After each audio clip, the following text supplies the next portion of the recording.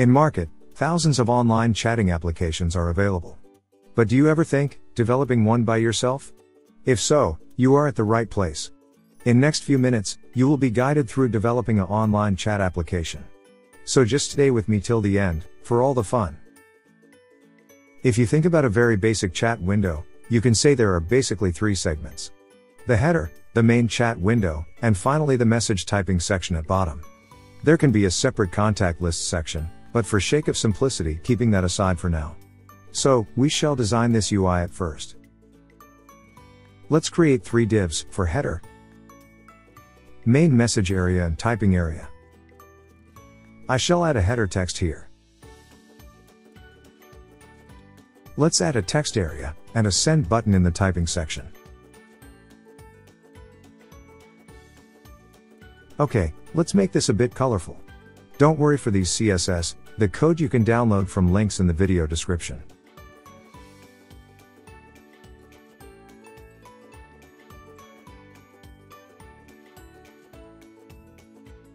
We made a nice header.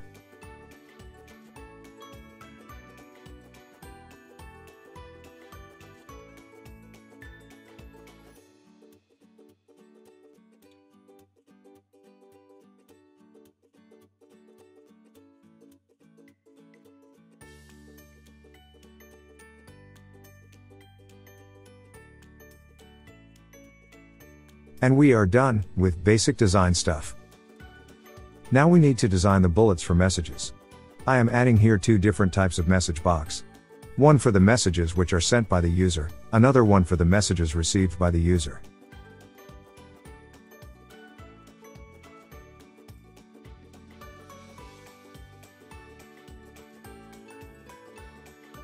Now, I have to add few styling again for these two. So, let's go to CSS and add few styling with it.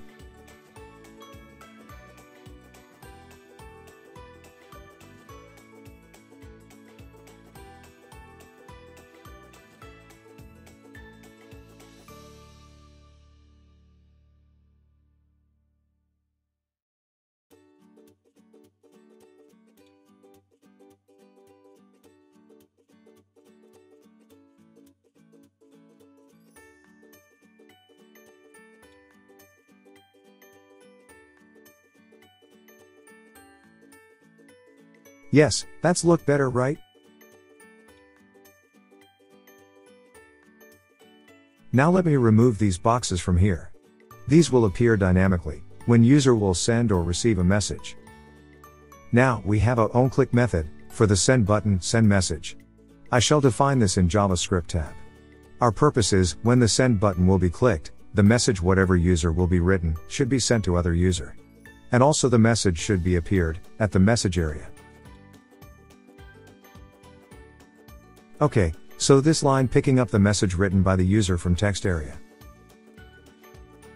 Now I am writing a dynamic HTML string for the bullets we developed for message text. Let's append this with the message area's inner HTML. And also clear the text area. So, let's test this.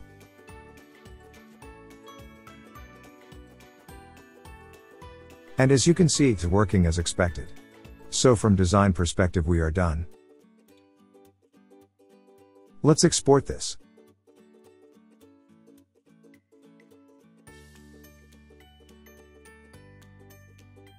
That's our resulted file. Before going forward, let me request you, please subscribe to Channel Code Board. Your subscription, like and comments motivates me to create many such interesting videos for all of you. Let me now explain you how does a chat application work. When user write a message and click on send button, the message goes to chat server. As soon as chat server receives the message, it broadcasts it to all or few other users who are connected with the server. Important part of this technique is, if server wants to broadcast messages to all connected users, then server has to keep alive the connections between all users. Right? For that we shall use a new protocol, called WebSocket Protocol. This is developed on the top of HTTP, but unlike HTTP it keeps the connection alive between server and client always. Now as you can see, I have opened the chat HTML file in Visual Studio Code Editor. I shall create another file here, server.js. I'm going to write few lines of Node.js code to create a HTTP and WebSocket server. So let's install Express first using npm. Also install Socket.io. Let's write code to create HTTP server.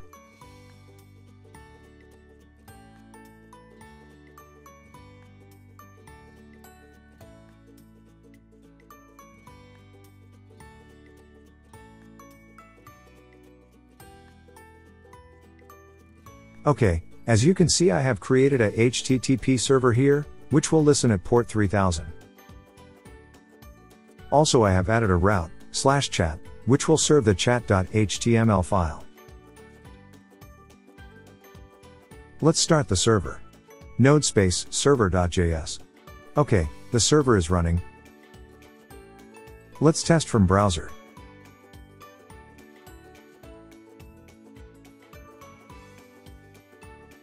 Okay, so chat page we are getting in the browser too, using localhost, in 3000 port.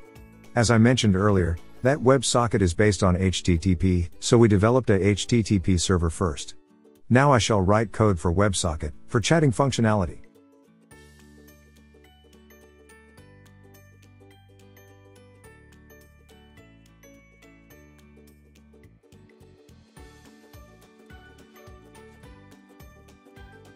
Based on these lines, whenever a user will be connected with the socket server, the user online message will be printed.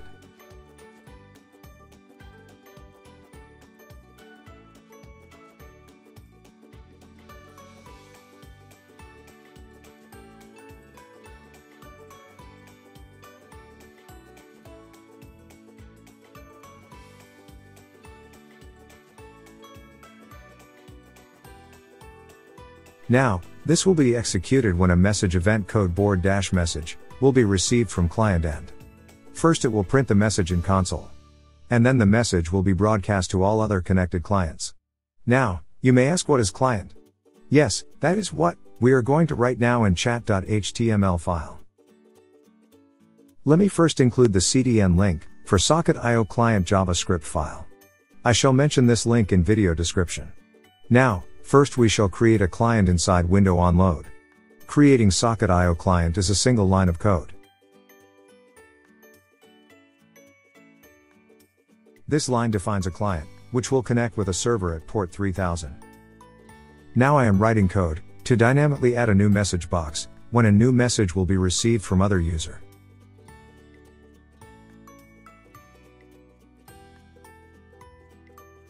Now appending that dynamic HTML with message areas content.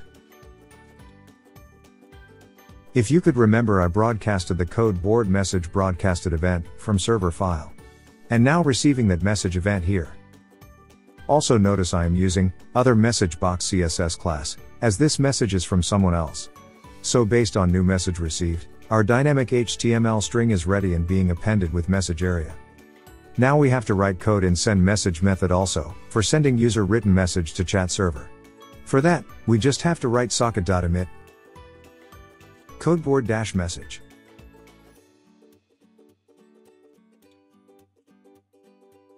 And then message variable. Now this codeboard message event has to be same as the server file's receiving event name. And our development is completed. We are ready for testing. Let's start the server. So as you can see I have opened two browsers here, Chrome and Firefox, just to mock as two users. In the server console, you can notice the user online message, two times, because two browsers are connected. Now let's start chat between two browsers.